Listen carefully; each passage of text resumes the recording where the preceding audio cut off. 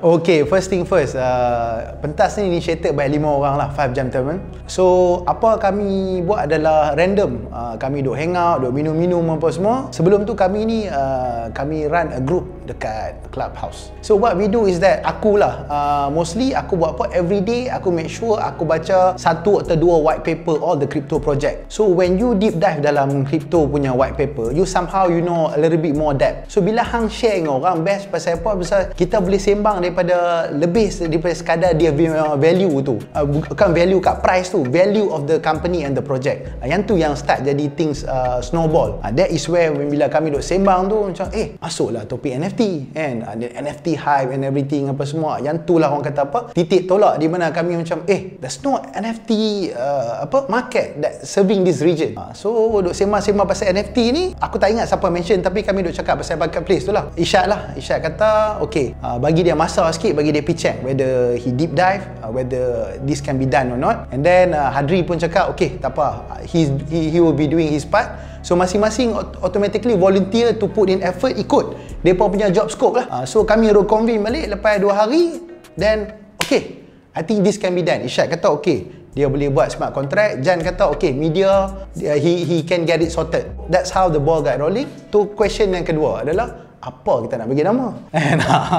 Aku ni seorang yang sangat bersifat kebangsaan lah. Kebangsaan dan Nusantara. So aku initiated dia nama tu. Satu pasal dia bawa uh, dia nama satu. And secondly pasal impact yang dia bawa tu. Bila hang sebut pentas pentas ni luas makna dia. Pentas samudera dan sebagainya. So hang sebut pentas ni it just it can be your stage. It can be uh, anything. Benda tempat di mana orang bebas ataupun melahirkan depa punya orang kata creativity depa. And so we think that is a good name. And then uh, semua bincang kata okay uh, this is a good name. Kalau hang tengok deep dive lah ni uh, apart from of, of, of course OpenSea yang paling besar yang kami pun pentas benchmark kami adalah OpenSea. Kami tak pakai orang lain nak benchmark. Okay? Dan kita ada Rarible, kita ada Foundation dan sebagainya. Okay, apa beza dia adalah kalau empat-empat uh, platform ni tadi yang aku sebut ni kalau hampa tutup nama depa uh, buka OpenSea tutup nama OpenSea, buka Foundation tutup Foundation, hampa tak tahu nak distinguish apa pasal the whatever things order is very generic. Okay, pentas came out because sebab tu kami ada satu disk kami punya USP lah orang kata okay? kami buat based on digital cultural and heritage so kami nak kalau orang putih ni sebut tribal lah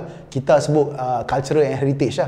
So this is what we are championing. Uh, ini pentas punya USP di mana kita nak lebih ramai uh, bakat-bakat ni menzahirkan mereka punya talent ni semua dekat pentas sebab memang kita nak bawa yang tu. Kita nak bawa ke depan dan untuk orang putih mereka akan tengok benda ni tribal. Dan untuk kita orang Asia ni kita akan appreciate benda ni sebab kita bawa ke depan dan kita towering culture and heritage tu. Tu yang tu pentas punya identiti lah. Bila kita sebut kesenian dan kebudayaan ataupun heritage dan cultural, it doesn't limit to Malaysia saja. Bila kita sebut benda ni, again, blockchain ni dia adalah literally orang kata uh, kalau nak cakap pasal globalization, the epitome of the uh, globalization is blockchain.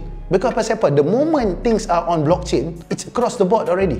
It's so distributed. So yang ni yang the best part. So kita dapat tolong ataupun kita dapat push whatever that is uh, related dengan kesenian dan kebudayaan di pentas dunia. Uh, pasal apa BNB bukan ETH? Okay, pertamanya kita kena tahu sebelum kita nak buat something kita kena kaji. Semua orang kena ETH, but tak ramai sangat lah kena uh, BNB ni ataupun BSC lah. Network dia nama BSC, Binance Smart Chain. So the reason why pentas pilih BSC is because dia punya robustness and dia punya adaptation tu cepat, rapid.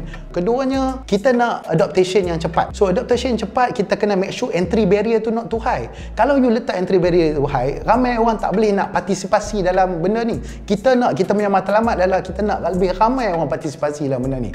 So, orang kata apa? Oh, oh hampa pakai BSC pasal murah. No, aku nak bagi tahu ada benda lagi murah. Polygon lagi murah. Tezos lagi murah.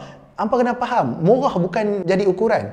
Kan? BSC bukan murah, reasonable. Yang tu kena faham. Kan? Nak murah tu dua tadi aku sebut tu tu murah. Kan? Tetapi tak guna kalau kita adopt satu benda tapi dia tak ada uh, user kan? Sebab BAC ni saja nak abang dia dah ada lebih pada 100 juta registered unit address So kalau yang tu tak cukup besar, aku tak tahu apa yang besar. Orang kata macam mana pun bapak smart contract ni masih lagi ETH lah. so untuk dia potong tu, I would say possible but not not not in a very near future. So probably maybe 7 to 8 years down the road possible. And, and then uh, bukan tu saja sebab lah ni kita tengok Solana pun robust.